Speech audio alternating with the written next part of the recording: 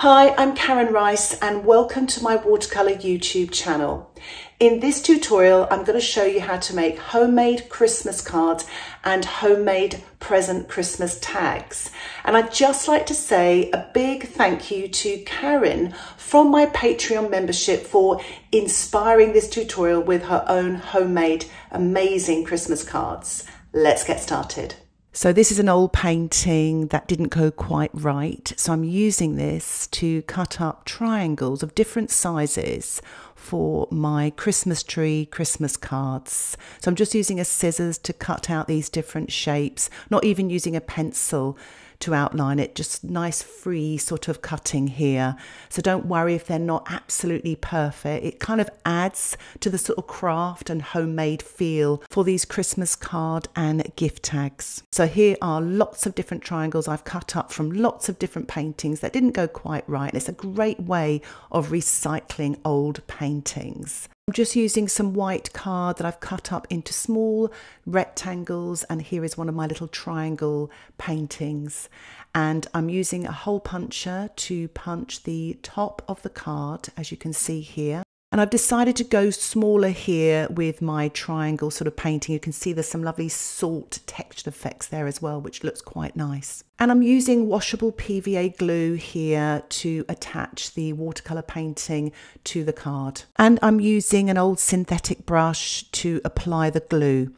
So as you can see here, I'm just applying it to the back of the triangle painting offcut painting here, just covering all these sort of edges, especially so that it doesn't sort of lift off at the edges. And I'm sort of sticking it down on the little gift tag now, centrally, just making sure I sort of press down. I'm going to use some paper towel just to really press hard and press the triangle down onto the card ready to decorate. So here are lots of small rectangle cards that I've cut up and I've actually punched holes in the top part there. And here are all my little triangles ready to be glued on to the cards. So again, gluing the back of the little triangle painting here using the synthetic brush and sticking it to the card centrally, but also leaving a space for the hole at the top there and really pressing down the triangle there, especially around the edge and this is ready to be decorated. So I bought some gold and silver stars, all different shapes and sizes.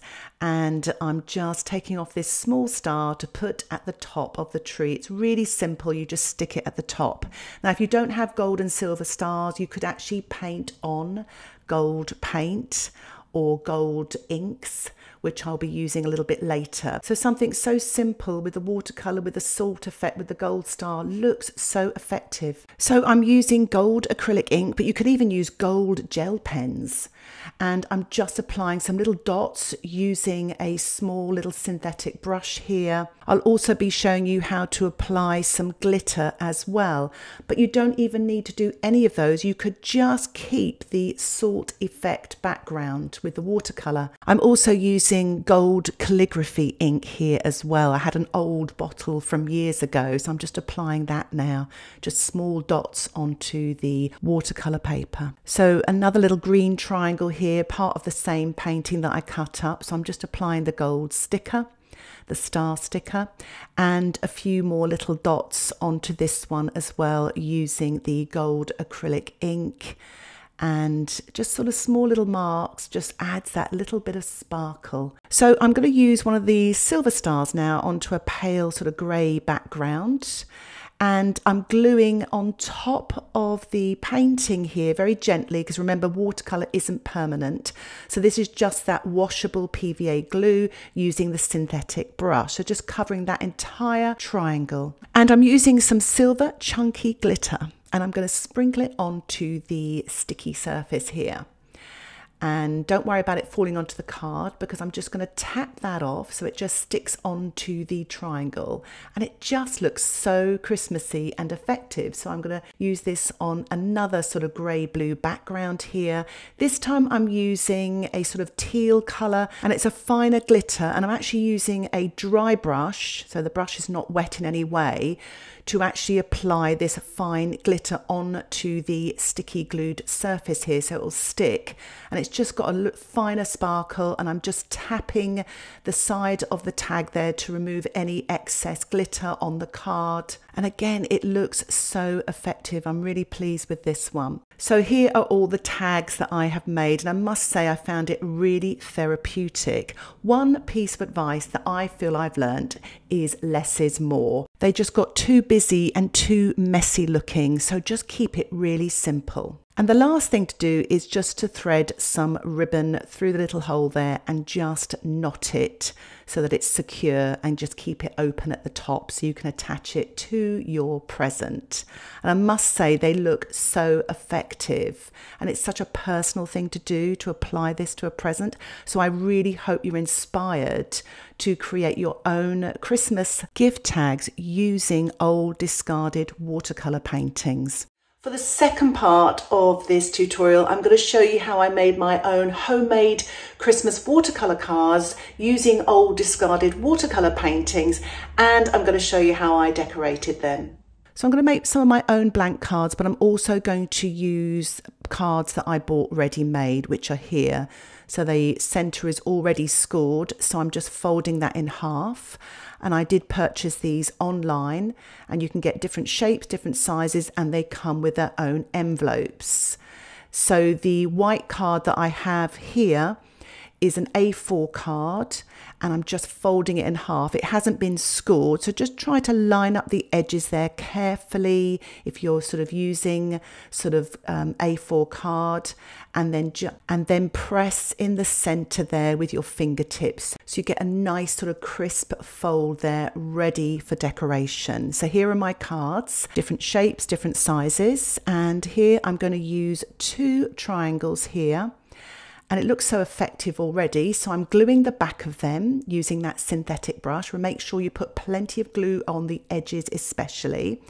So I'm gluing the first one here using my fingertips to press down the edges, making sure it's fully attached to the card, and then the next triangle overlapping slightly and that's going to be ready for decoration just using a paper towel to press down those two triangles and allow the glue to dry before decoration. And just keep an eye on your cards when they're drying. Just make sure those corners don't lift and just press them down firmly with your fingertips. So here is another triangle. It's got a salt effect, etc. So I really love the colours here. It was actually some caladium leaves that I had actually practiced before I actually did my caladium leaves tutorial.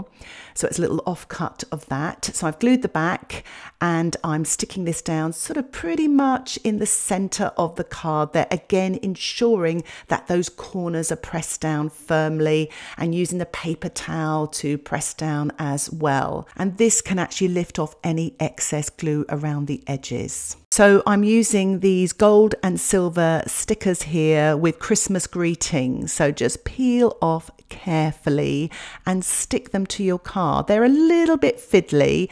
I got better as I went along and they do suggest using a tweezers. Now you can write your own sentiments either with a gel pen, a gold or silver gel pen, or even paint it on with gold or silver paint or ink. But my writing isn't the best, so I prefer these written stickers.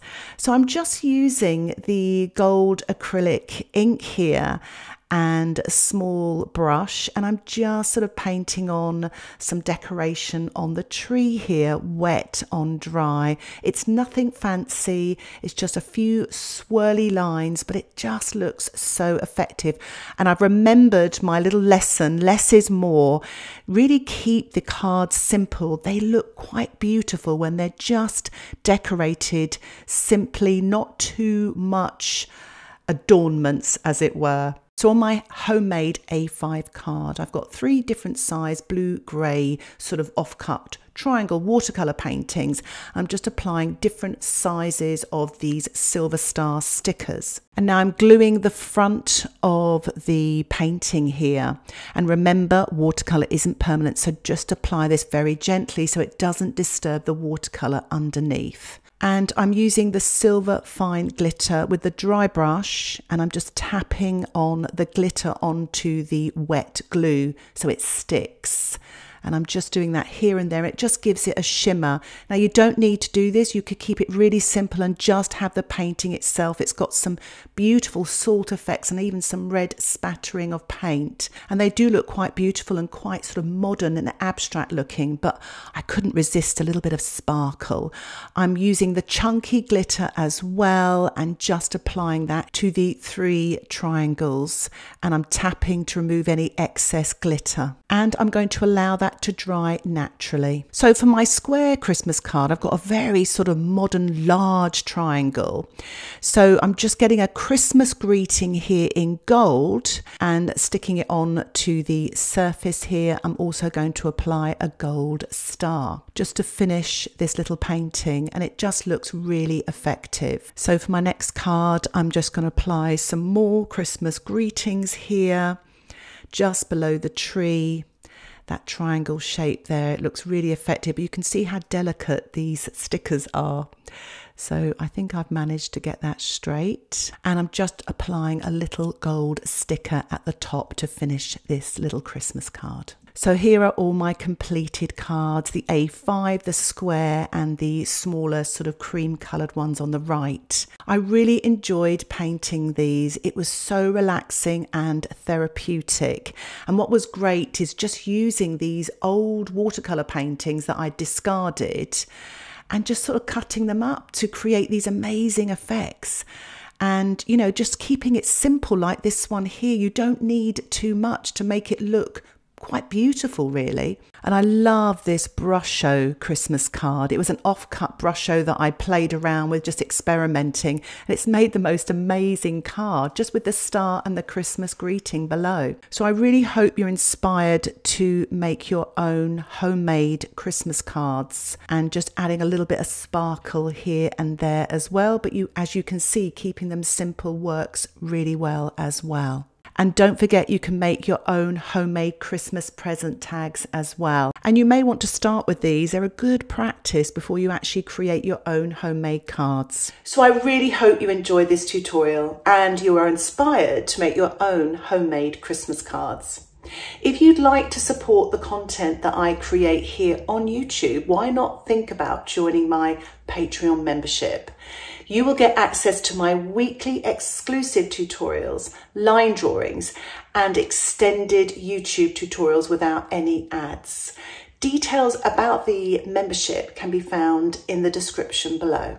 Thank you so much for watching this tutorial. Happy Christmas card making. Bye for now.